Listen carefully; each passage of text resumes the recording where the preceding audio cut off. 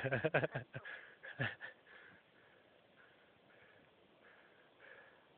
know there's rocks in here somewhere. I'm going to speed that up and put the Benny Hill music to it.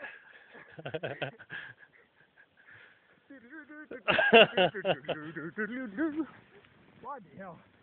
Well, that's me done in.